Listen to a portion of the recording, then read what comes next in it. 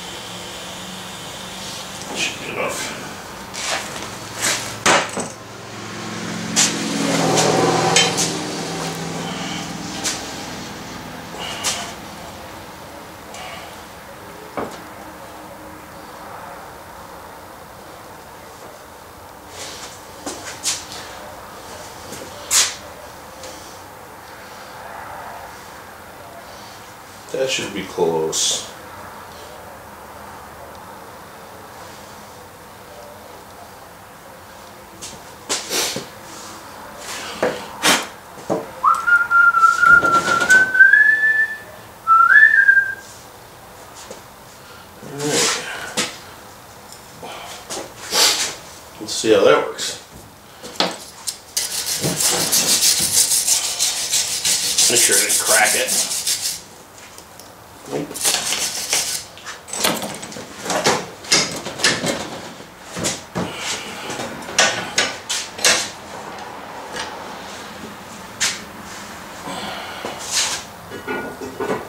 Perfect.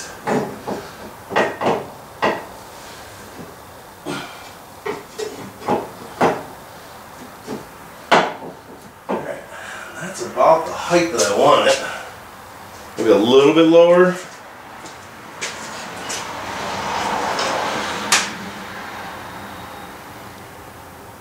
That's, yeah, I'm gonna come down about another another inch.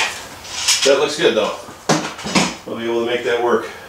So I'm gonna go ahead and uh, mark this where I'm gonna cut it off and grind it up real good and put some paint on it and then we'll get to bolting that together.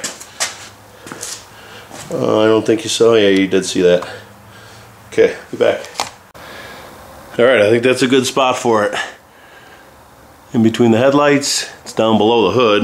Um, I got a four inch lift on this truck, so the plow harness is uh, low on the truck because I had to put those extenders on the frame to keep the uh, to keep the bottom parallel.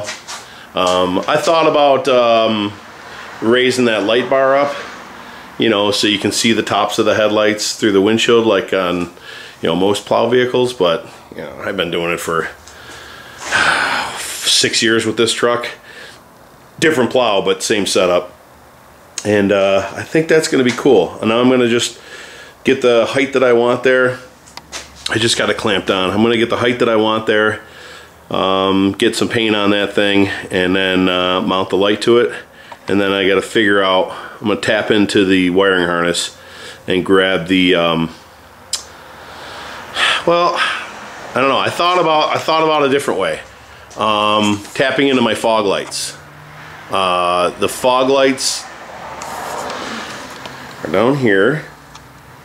And when I have the let's see yeah, they still come on when the plow is on the on position. The lights on the plow are on the on position. So I'm thinking maybe I will just tap into the fog lights. So then all I got to do is either on high beam or low beam, I can just pull out the, um, uh, you know, the the light switch for the headlights. If you push and pull it, that is for the uh, fog lights. So let me get this straightened up and painted, and we'll get going from there. All right, well there is the light all mounted up. I think it came out great. Paint wasn't super, super dry when I put it on there, but I managed to keep it pretty clean. So now the trick is to get these wires hooked up to the fog lights. And in order to do that, I obviously want to be able to unplug it when I unplug the plow, or else it'll just tear the wires out. I was hoping that I could find in this plug um, power, you know, obviously that end of it, power for the uh, fog lights, but I can't. I just got marker lights, high beams, low beams, and then the rest are for the solenoids. So what I'm going to do is, in my stash, I found an old uh, plow harness for a um, for a Western plow. I think I'm going to use this side. No, this side. This side I'll use as the truck side. So that will be uh, coming out of the coming out of the grill along with that power cord. Okay, so it'll just be along next to that one, and then I will hook this one up to um, this. So I'll put the the red on the purple and the black on the white, or vice versa, whatever and then I'll just solder that together and make sure that's a good piece so then I'll have a nice plug. So right now I am getting a, into the front end of the truck here and trying to figure out which is the power uh, that goes to that um, fog light. So once I figure that out, I'll get it hooked up and we'll we'll see what's up.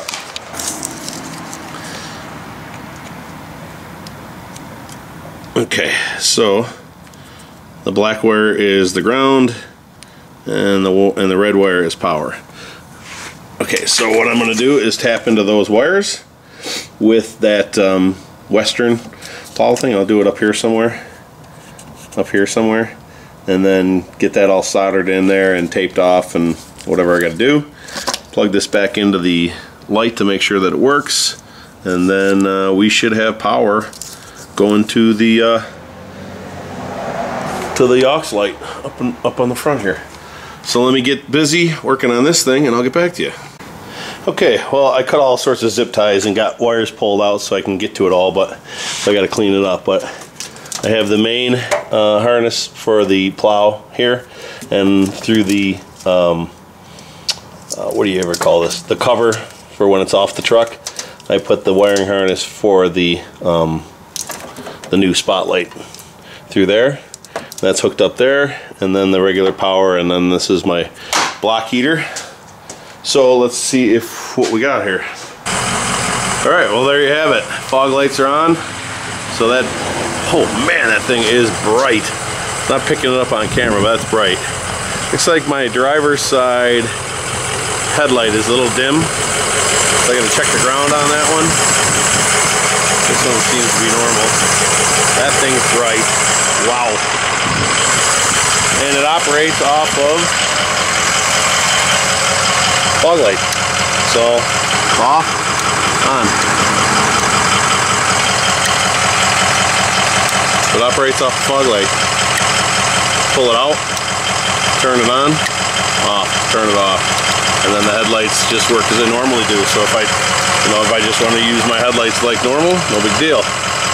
When I want to put the fog lights on, and in the summertime when the plow's not on there, obviously just the fog lights come on. So it's absolutely perfect. All right, so that'll do it for this one. Thanks for watching. Please comment, rate, subscribe. Have a great day.